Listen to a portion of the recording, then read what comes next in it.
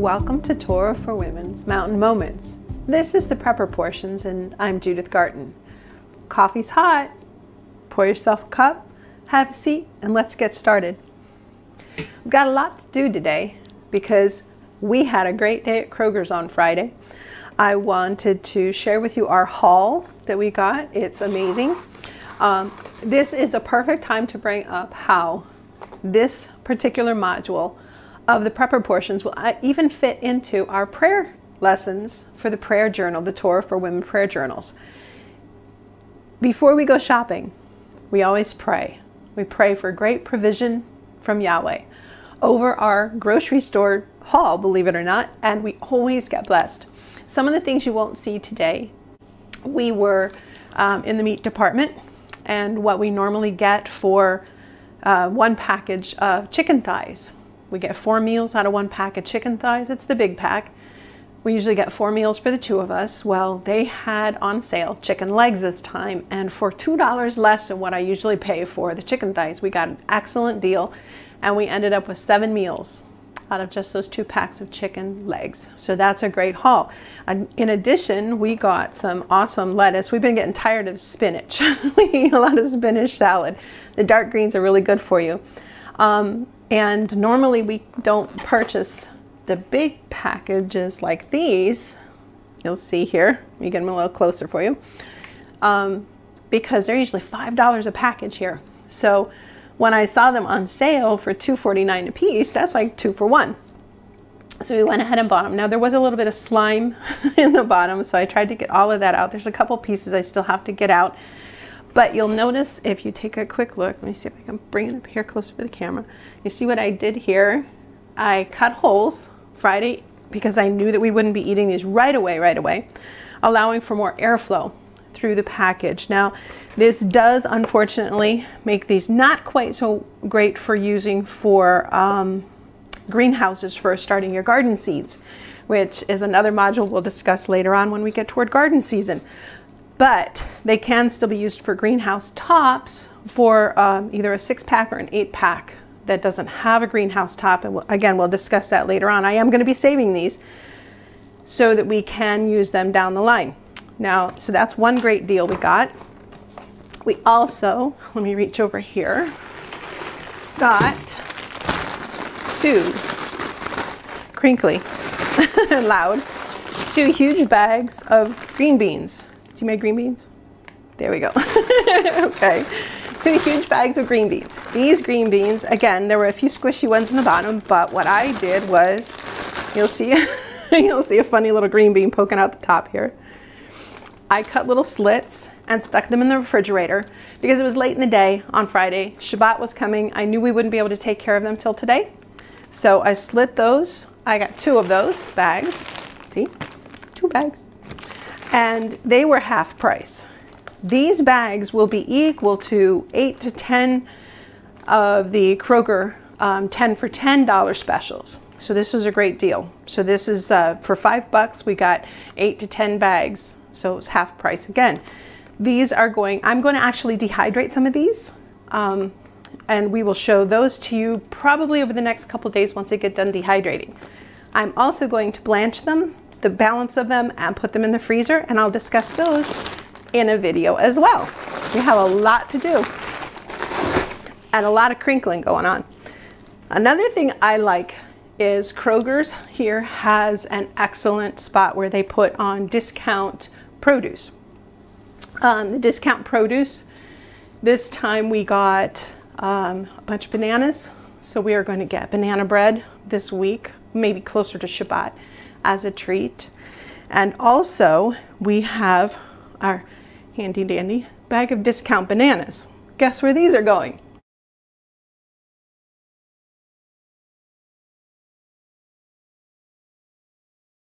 Dehydrator.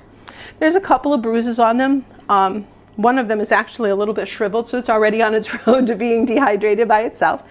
We'll be slicing those up and putting those in the dehydrator as well. And then while those dehydrate, I have an interesting thing here. This is my bowl of coffee grounds. I need some scouring powder So one of the things that is really helpful for scouring powder is using your old coffee grounds. Works great, especially on stainless steel pans. Removes all the gunk on the inside.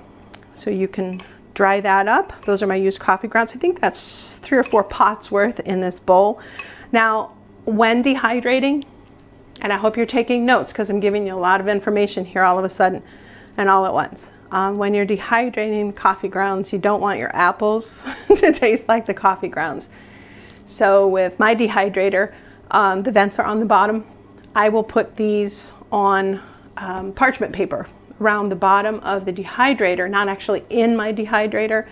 They will be near the dehydrator, so they will be getting the heat and the air flow. So they will dry that way but that they will go into a jar under my sink and whenever I need scouring powder, um, I think I actually have in the closet, I'm hoping I still have an Old Spice jar with a sprinkle lid on it.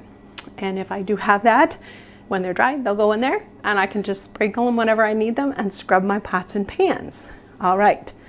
So what else did we get this week? I have to check my list. Um, we did the bananas, the apples, the green beans, the salad, Oh, yes, we're also going to be trying something new. I've not done these before, but I have a friend who did them and she loved them. We are going to do egg burritos um, and put them in the freezer. So I have tortillas that we got and lots of eggs on sale. We're going to mix those up with some jalapenos, some cheese, and some potatoes, and we will be putting those in the freezer. And we're going to try those out over the next week or two and see how they are coming out of the freezer. Now, if you know me well, you know Yes. There. Oh, wait. Where is it? There it is. Uh, move my hand this way a little bit. There. there we go. That's a microwave. Yes, we have one.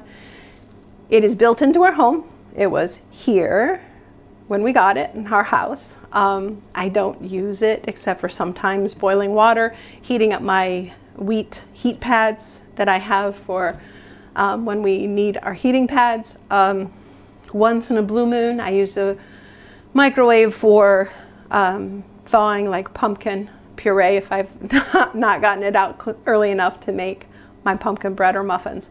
But I don't particularly care for microwaves. Um, I don't like them. They do damage food more so than other um, heating utensils. And if I step aside here, wrong direction.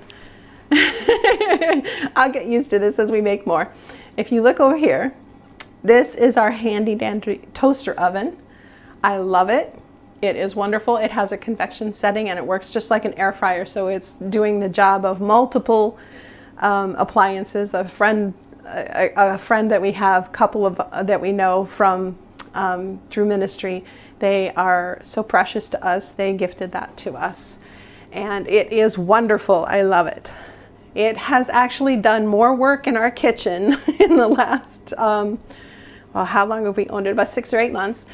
And it has done more work in that amount of time than my big oven has. Um, I love this. It cooks faster, it cooks nicer, it cooks crispier. It's wonderful. And we will do a review on that. Also, in the background, you'll see, let's see if I can get my thumb in the right spot. Right there. My dehydrator. I don't own an expensive dehydrator. I never have. I've always enjoyed using inexpensive dehydrators.